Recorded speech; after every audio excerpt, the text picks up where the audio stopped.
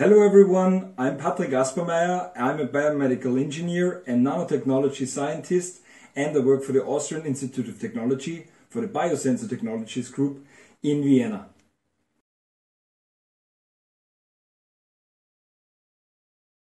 According to my mom, I was with my grandparents and uh, I was at their farm and probably when the Berlin Wall fell and so many families got reunited, I was playing with a rabbit.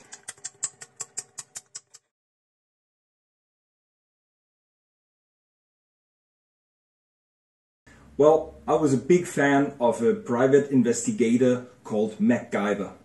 This guy was an electrical engineer, physicist, chemist, and he knew about biology. So basically, he was combining all these disciplines and he created uh, really nice tools and fantastic inventions during this TV series. And uh, I was always really impressed by all the knowledge he had and all the possibilities to actually make uh, things happen. And uh, with this, he was also sort of an Uh, a private detective who could actually find solutions to problems.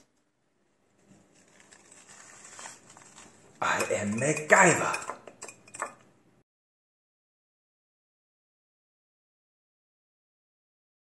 I break the walls between disciplines.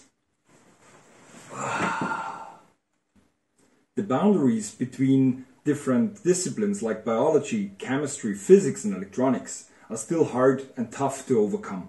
Each researcher is facing this problem and is basically hiding behind his or her own wall. In my biosensor project, I combine the different disciplines and I try to explain the mechanisms for each world in their own perspective.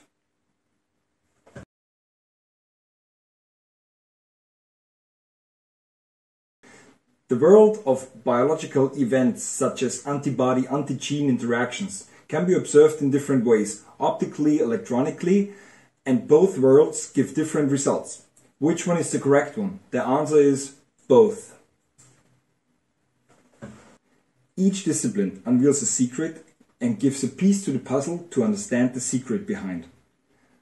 Only the combination and the simultaneous readout gives the truth and we can understand how biology works.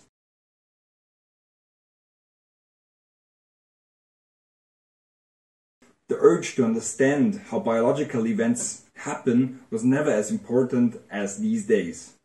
That's actually the reason why I'm sitting in front of a camera. So the question is, how do disease arise in the human body?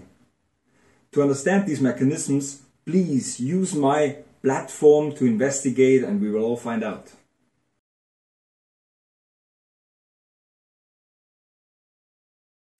The question is, can I make this technology uh, usable for a wide range of customers? In my dream, people are really using this in different facilities way beyond the laboratory stage. That's actually a vision I have and uh, I hope I can make this.